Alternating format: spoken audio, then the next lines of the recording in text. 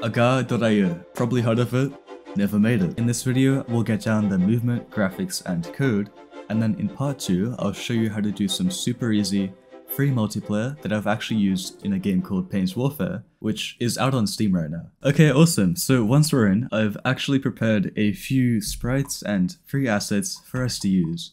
So the link for this is in the description. Um, let me just download it. And you can just drag this into your project. Click import. There we go. And what this comes with is a little prefab. So drag it into our scene. And now we have a very nice grid. Now this may look a bit funky uh, just in the play mode, but when we actually start using this, this will look normal. It's just the pixels uh, scaling weirdly. Uh, but yeah, it's, it's all good. Go to the sprites folder and drag in our player. Let's set the position to 0, 0, and we can just make him a nice red. Now we currently can't see him, and that's because the order is the same as the tile map, so we can just bring this up. There we go. And this should be pretty good. I'll just also center our grid. There we go. Okay, so let's make our little player move around a bit. So I'll click add component and I'll call it movement. Okay, so let's delete this start method and we'll add a public camera called cam. And then in here, in your update method, let's create a new vector2 called input. And we'll set this equal to input the mouse position now we'll make a new vector3 called world input. And we'll set this equal to cam. The screen to world points. Input. Oh, input. There we go. Okay so what we've got so far is we've gotten the mouse position in this world space. Now let's add some player movement. So we'll do transform dot position equals vector3 dot move towards or pass in our transform dot position our world input in our max distance delta we'll make a new variable for our speed. So public float speed equals 1 we'll just reference that here. And we'll multiply it by our time dot delta time. I'll add a semicolon here. There we go. Now, in our inspector, we can reference our camera. And if we play this, we should be able to move. And as you can see, when we play this, we're able to move.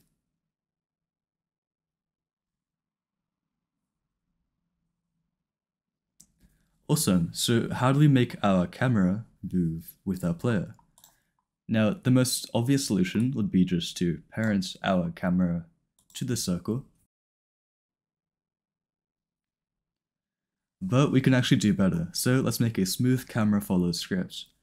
On our camera, click add component, and we'll call this script smooth camera follow.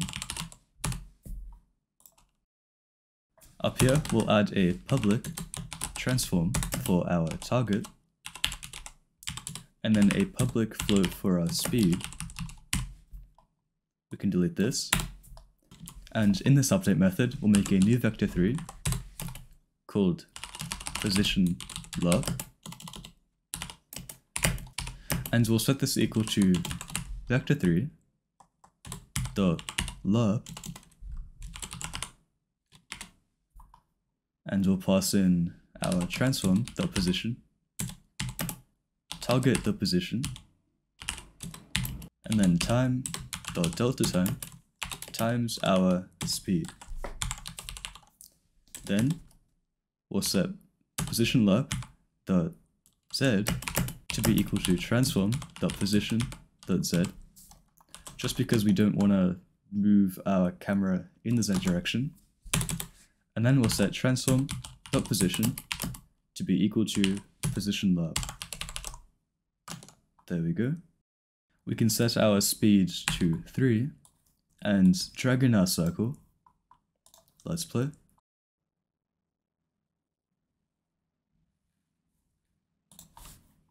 Let's actually increase the speed.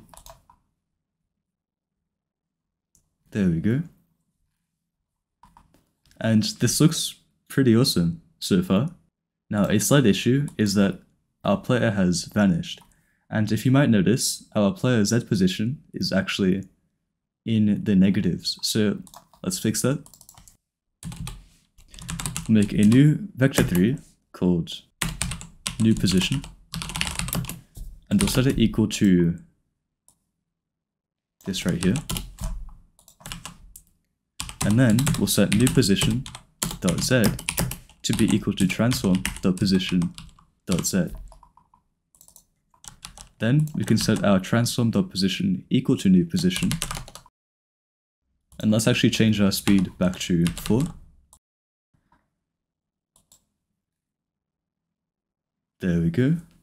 And now this is working flawlessly.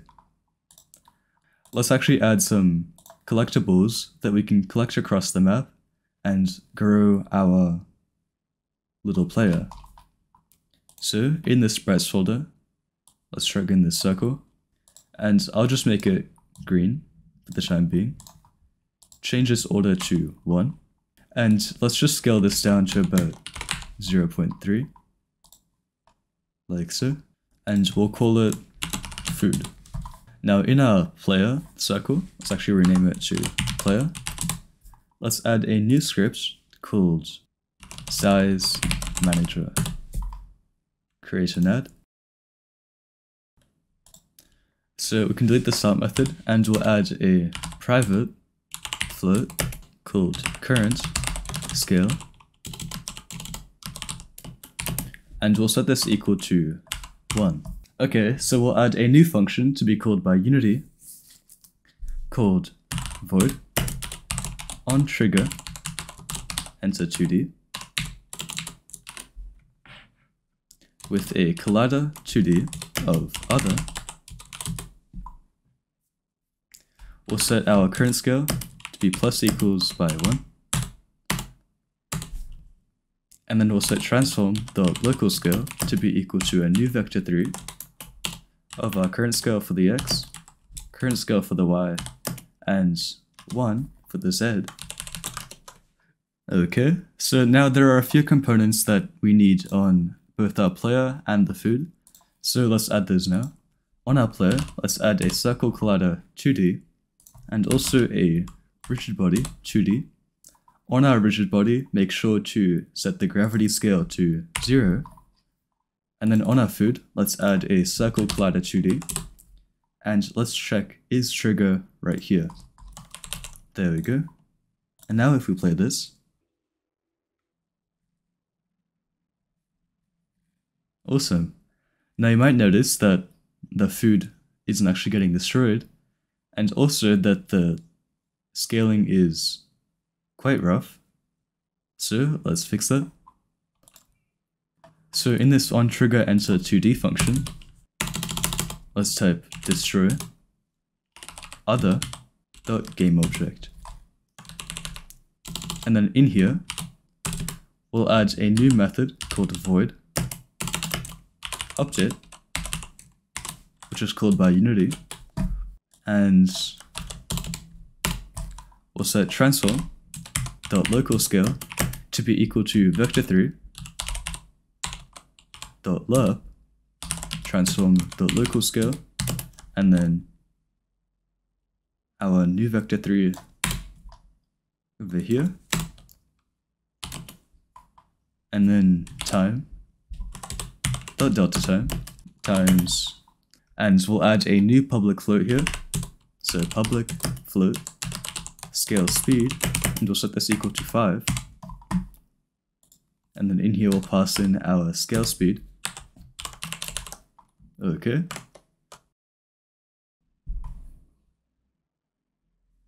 So as you can see now, we just ate the food, and now our player is a little bigger. So now what we need is spawning this food around the map and also potentially making a random color for each of these food particles. So let's do that. First, let's make a prefab from our food and we can delete it from the scene. Then right click, create an empty game object and we'll call this game manager. Add a component called game manager.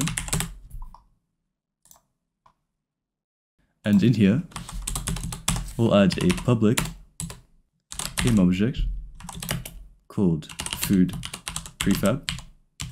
And we'll also add a public game manager called instance. And then also a public vector2 for our x range and a public vector2 for our y range. There we go. Then we'll add a new private void called spawn food and we'll set our new vector3 called spawn position equal to new vector3 for the x we'll do random dot range for our minimum we'll do x range dot x and for our max we'll do x range dot y add a comma here for our y we'll do we'll pass in our y range dot x and our y range dot y. And then for our z, we'll just do one. And then we'll do game object food equals instantiate food prefab at our spawn position. And then with quaternion dot identity, which is just the default rotation. Okay. Let's delete this update method right here. And in our start method, we can do for. And then for our upper, we'll do, let's say 50. So we'll do this 50 times. And we'll spawn food in here. Okay.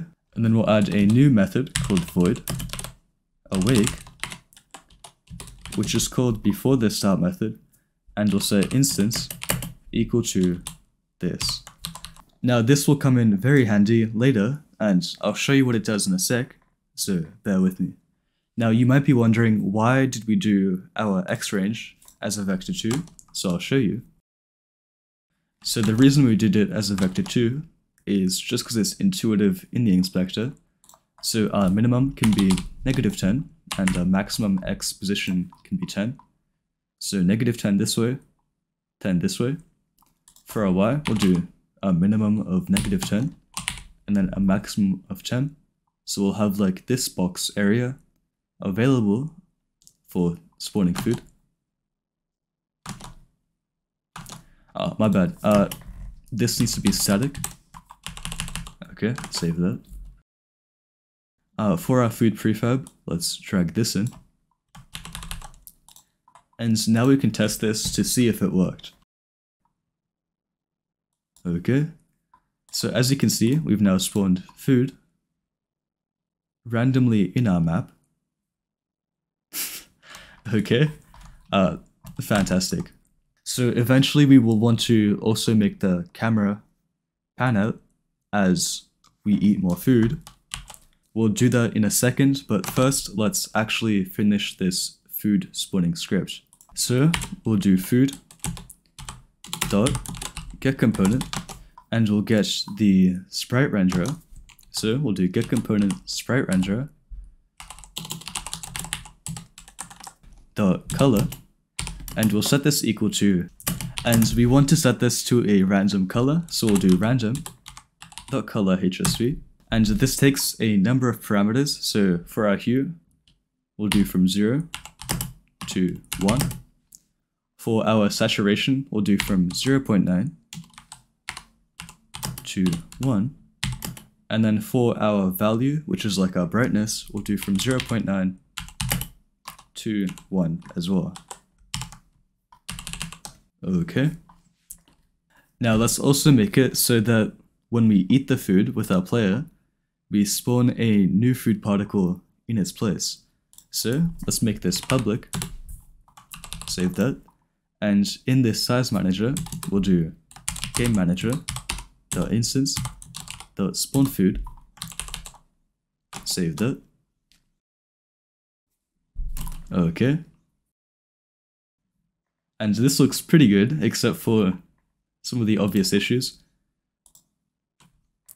So let's firstly make it so we don't actually scale up that much when we eat food.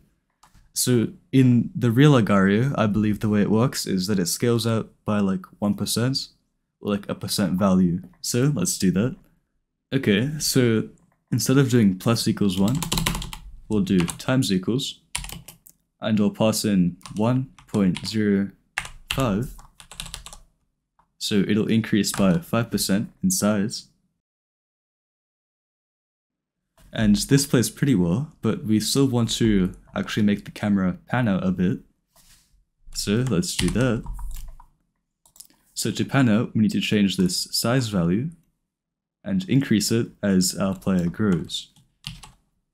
So in the smooth camera follow script, we'll add a new public camera called cam.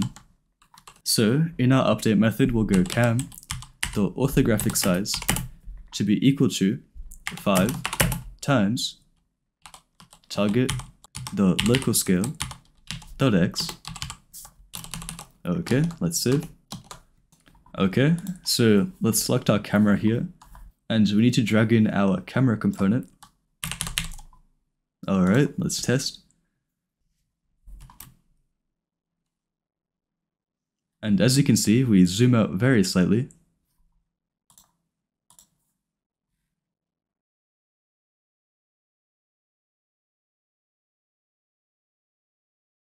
So right now, the player is always a constant size on the camera screen, but we might not actually want that. Uh, what if we want the camera to sort of lag behind a bit with the player? So let's actually add that.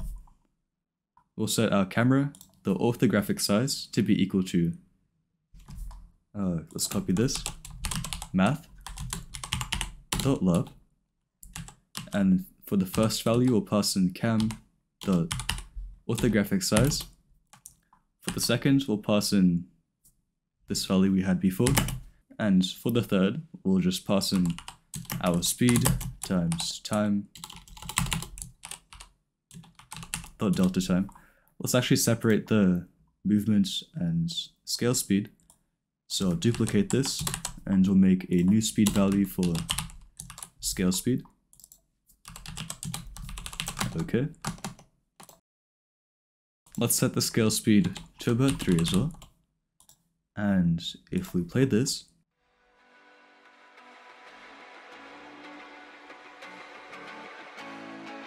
now this is super smooth.